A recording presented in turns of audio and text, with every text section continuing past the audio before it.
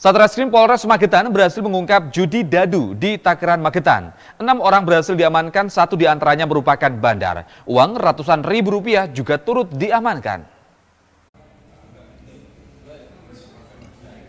Satreskrim Polres Magetan mengamankan AS 41 tahun warga Jiwan Madiun.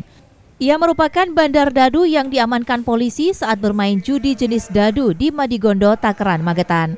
Pengungkapan kasus berawal dari laporan masyarakat tentang adanya praktek perjudian di rumah salah satu warga di Madigondo, Magetan. Polisi bergerak cepat melakukan penangkapan. Selain AS sebagai bandar, polisi juga mengamankan lima orang lainnya sebagai penombok.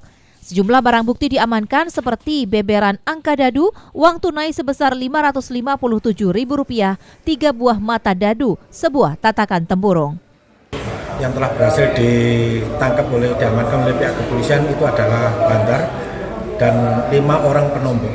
Lima orang penombok ini e, berhasil kita amankan. Berikut barang bukti.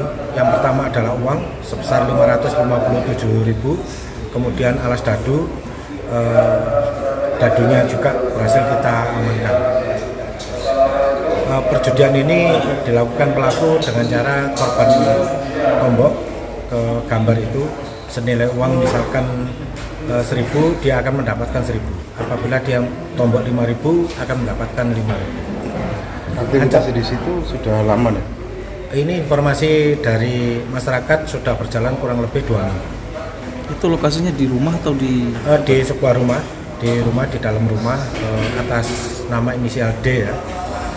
E, yang bersangkutan jika kita proses khusus untuk bandar ini kita kenakan pasal 303 KUHP kemudian untuk penombok kita kenakan pasal 303 bis KUHP ancaman hukuman eh, 10 tahun terkait dengan perjudian Kasus perjudian ini menjadi atensi Polres Magetan karena ada banyak keluhan yang disampaikan warga saat digelar Jumat Curhat. Polisi akan bergerak cepat dan menindak pelaku perjudian.